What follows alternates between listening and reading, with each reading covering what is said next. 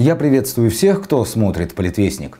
В сегодняшней России любой оппозиционер, да и обычный гражданин, не приглянувшийся этой власти, допустим, кому-нибудь из чиновников захотелось завладеть его бизнесом или деньгами, или недвижимостью, может быть обвинен в чем угодно и посажен в тюрьму.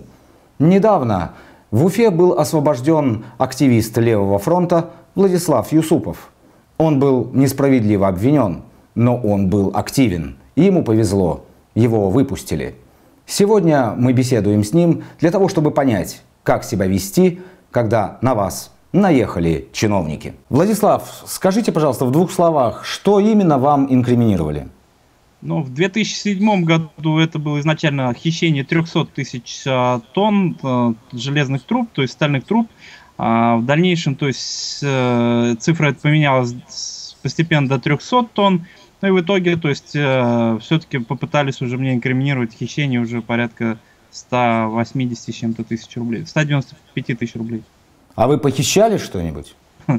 Если бы я похищал так, такие ничтожные суммы, это было бы наверное, довольно смешно. Если в начале, то есть это было довольно, ну то есть даже льстило мне, что меня обвиняли в хищении 7,5 миллиардов рублей, то потом это было уже даже смешно уже, если честно.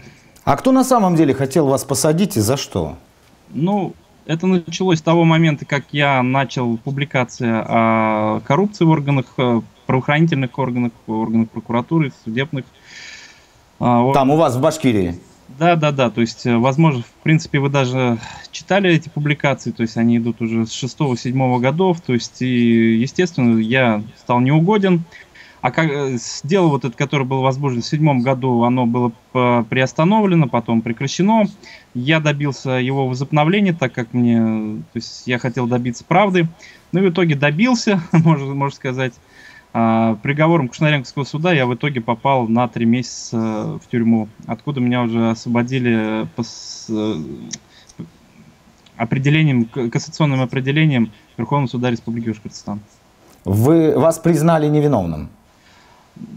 Меня немедленно освободили, отменили, да, то есть признали незаконным приговор, э, если быть точным, да, то есть а, приговор был признан незаконным. Впереди еще стадии, в принципе, восстановления в, правах, то есть э, возмещение ущерба я постараюсь какое-то получить. Ну, если бы вы знали, каким образом это происходило, то есть это театральное, можно сказать, действие было со стороны потерпевшей страны, ну, я понимаю, что на них самих оказывалось давление со стороны а, правоохранительных органов для того, чтобы они дали нужные им показания.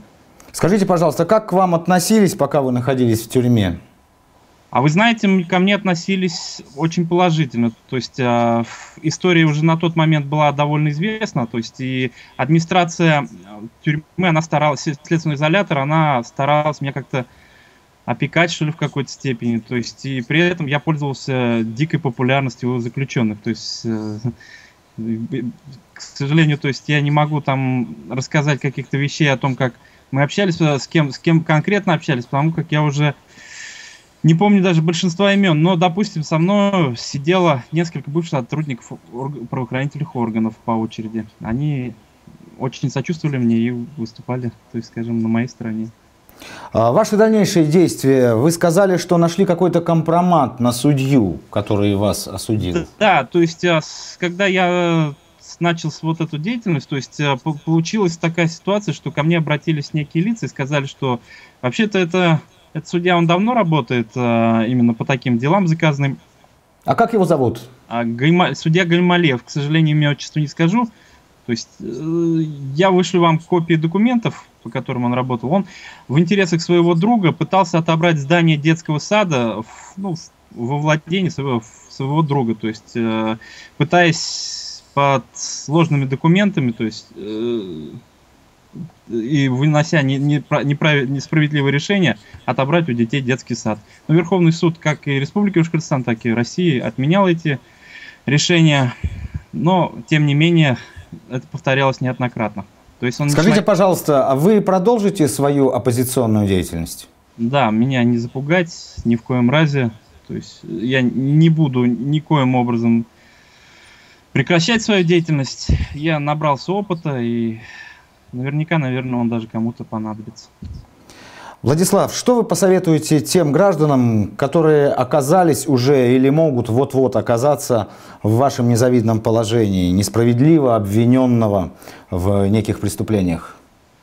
Но это зависит от конкретной ситуации. То есть э, я не могу полностью, наверное, дать какой-то вот такой общий, общий советы, то, э, но в данном, в моем случае мне помогло вот именно то, что мне удалось привлечь внимание к проблеме, первое, а второе, все-таки нужен грамотный юрист, который сможет вас э, на воле э, прикрывать. Я бы, наверное, назвал это слово таким, так, это обозначил так, потому как не всегда у вас будет возможность отправить э, какие-то заявления, обращения, ходатайства, то есть э, возражения. Зачастую из тюрьмы не уходят определенные документы или они уходят с опозданием. Это такой факт есть. То есть э, вам в любом случае будет нужна юридическая поддержка на воле. Это очень важно. И юрист должен быть грамотным.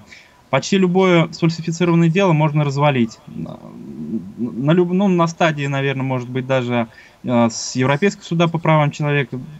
Это действительно вот займет какое-то время, но тем не менее любое сфальсифицированное дело можно развалить. Спасибо большое, Владислав. Желаю вам, конечно же, мужества и дальнейшей активности.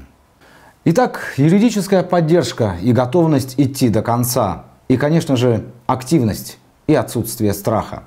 Вот что может помочь тому человеку, который будет неугоден власти и которого чиновники постараются посадить в тюрьму. Это касается каждого гражданина России, честного гражданина. Смотрите, политвестник.